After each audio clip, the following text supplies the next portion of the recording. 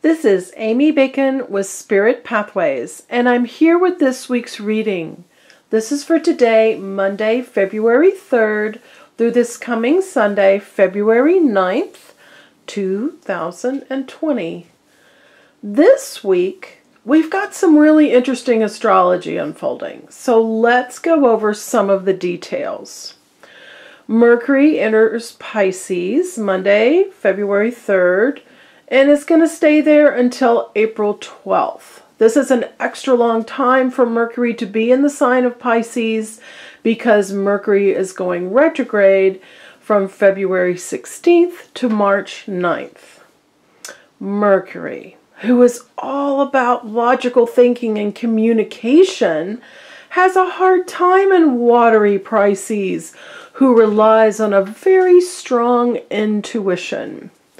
By blending the reasoning intellect of Mercury with Pisces' ability to spread across different experiences of reality and trust its intuitive inner knowing, you can get the best of both the mental and emotional aspects of this union. If you feel your thoughts are dreamy and unfocused, yet you feel on an outer level you need to be getting things done, allow yourself to delve into and trust your inner knowing. This is allowing Pisces to lead Mercury from the heart and from intuition, giving a heartfelt boost to your communications and how you are able to get things done. Then Venus enters Aries Saturday, February 8th, and will stay there until March 4th, bringing a fourth with almost competitive energy to both love and money. Venus in Aries knows what she wants and makes every effort to achieve it. So think about your plans for love and for abundance during this week so you can take advantage of allowing Aries to lead the way in getting things done after this week and until March 4th. Mercury may be muddling your thoughts, but allow Venus to take the lead and show you some results. We will get more into the energy of love next week, so lay some groundwork for yourself this week. Ending the week, we have the full moon in Leo on Saturday, February 9th. Pay careful attention to your alignment this coming week because this is powerful full moon energy and you want to be sure you are well connected to your true desires and not allowing your ego to lead the way. You'll know it's your ego if you have negative compulsive thoughts. Instead, allow your heart to lead with attunement to your dearest desires and loving outcomes. You can shine and you can lead. Your success comes from doing both with compassion and kindness that enhances your strong, positive outcomes. And you know, you can get personal details of how this affects your life and how to get the absolute best out of this energy with a reading.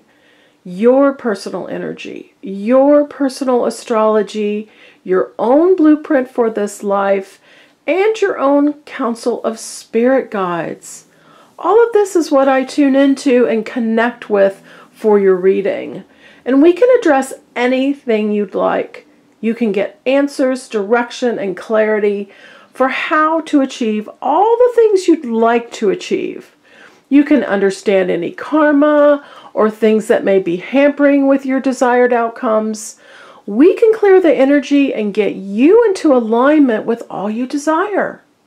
All the information for your reading is on my website, spiritpathways.net. And this week we have fluorite. Fluorite to clear your energy field, fluorite to help you with the mental clarity and decision making Fluorite helps with confusion and also any anxiety you may be having about the future. And on a physical level, it supports your bones and your teeth, and it helps you overcome any dizziness or vertigo if you've been experiencing any of those. Or if you have any dental work that needs to be done. Take some fluorite with you. Spend a few days with fluorite before and after that dental work. And your teeth will be healthier and happier for it. All right.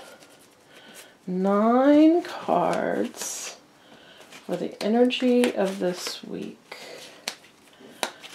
Nine perfect cards.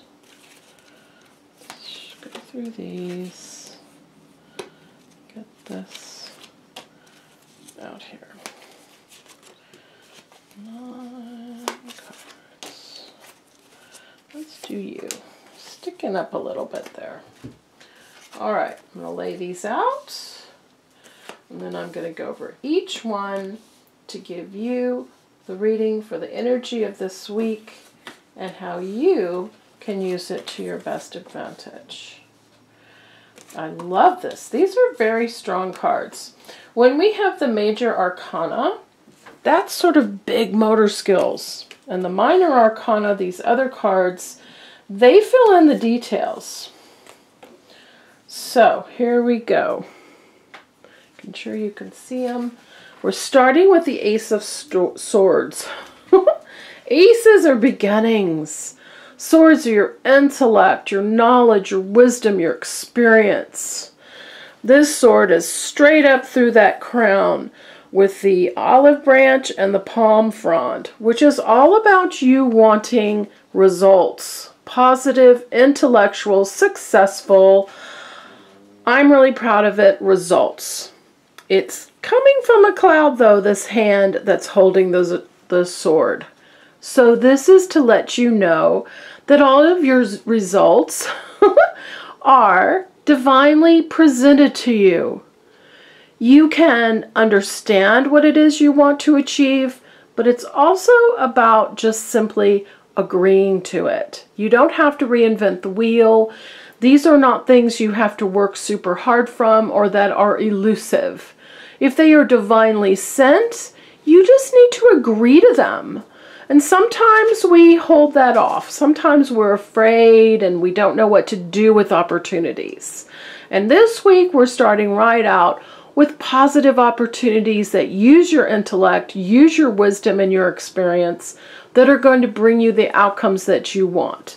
These are business outcomes. These are getting that book written you want to write, getting that new job you want, getting that promotion, starting that business, using your ideas and your thoughts and your wisdom to create something new. It's an ace.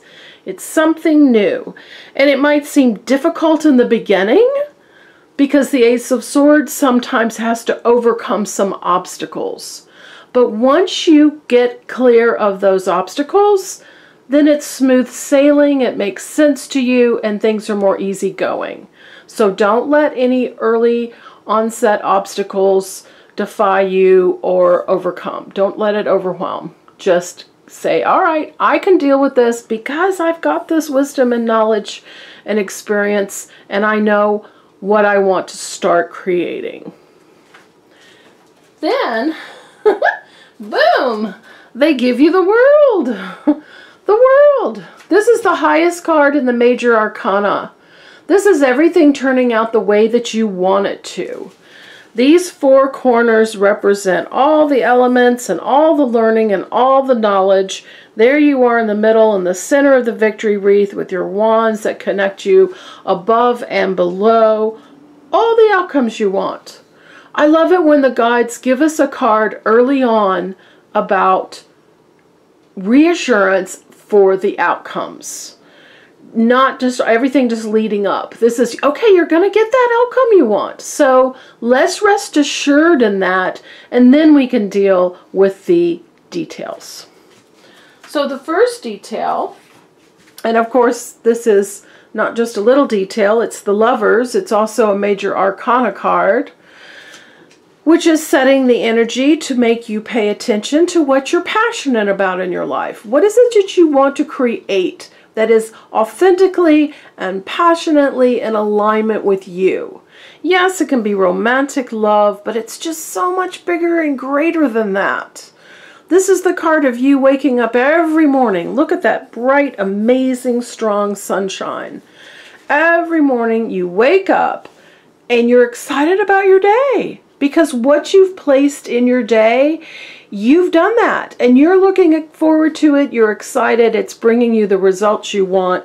These big red wings on the archangel are all about passion, passion for your life, passion for all the things that you enjoy.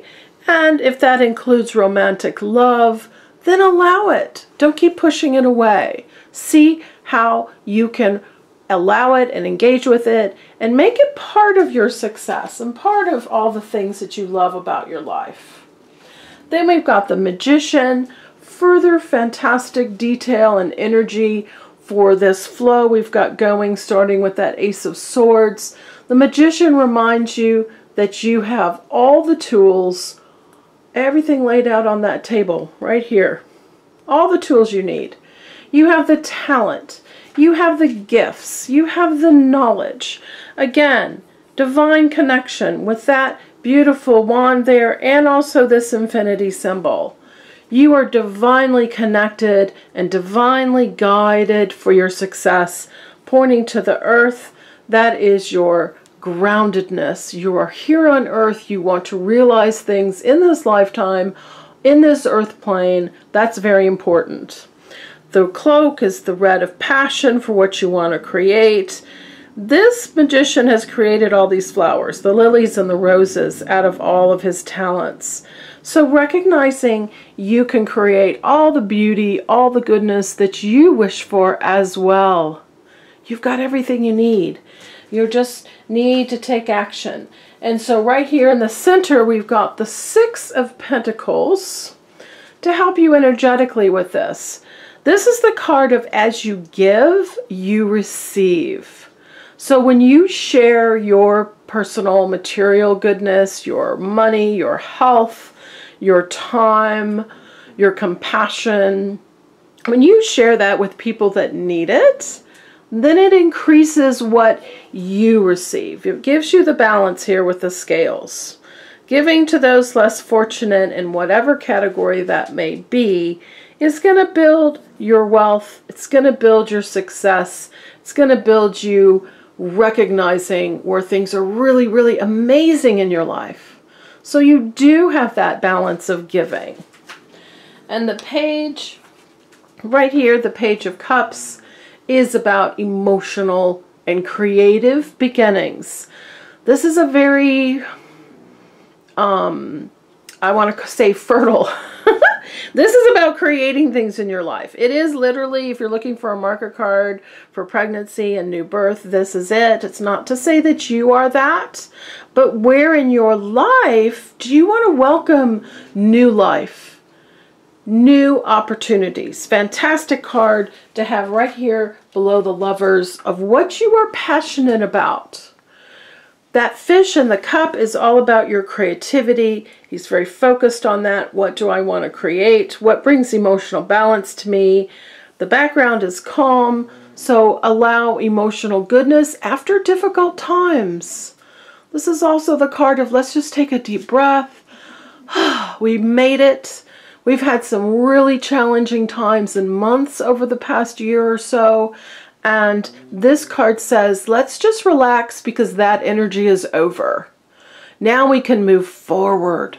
Move forward emotionally and creatively to what we want to enjoy. And what a perfect card to come right after the Page of Cups. Here we have the Ten of Cups, which is the, I call this the Happy Families card. There's your rainbow and all the goodness that each cup holds the dreams and wishes you've had. There's your house. There's this beautiful land.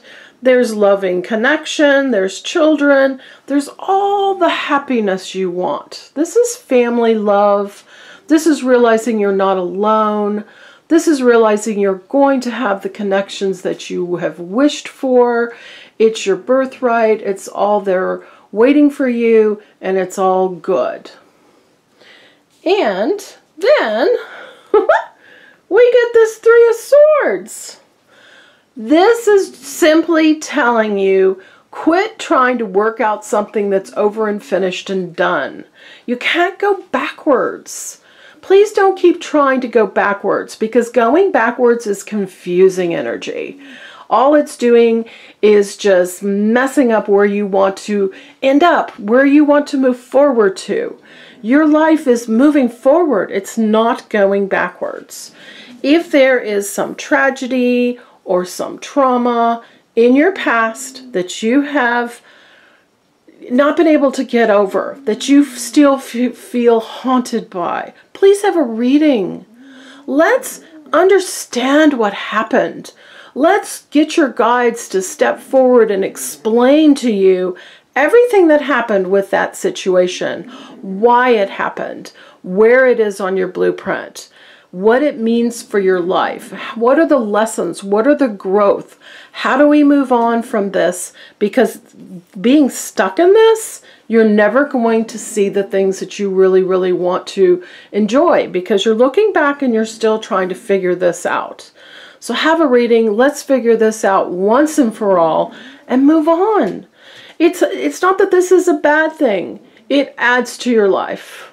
Adds to it in ways that you're ready to understand and release anything that's been blocking you or holding you back. And then our last card, this beautiful Knight of Wands.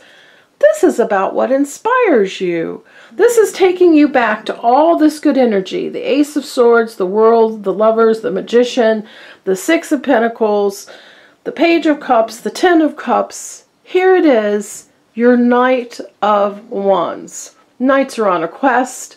Wands are about taking action. That Venus and Aries energy. Wands are fire. Let's take action on the things that inspire us. Let's appreciate how we are unique and we are authentic and how that adds to all the goodness we want to experience in our life.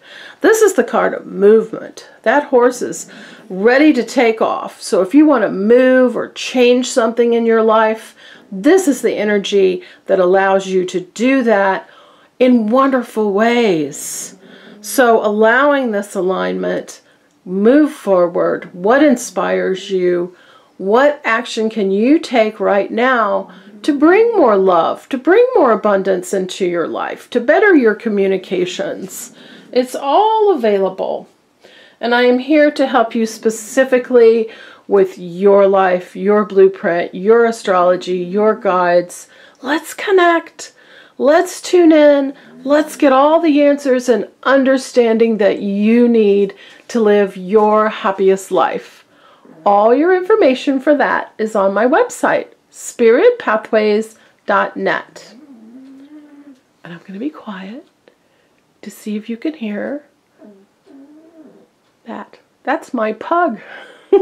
She's sound asleep at my feet, snoring. having a wonderful dream. She's twitching. very, very good energy. So from me and Muffin, have a wonderful week, and I look forward to seeing you next week. Bye-bye.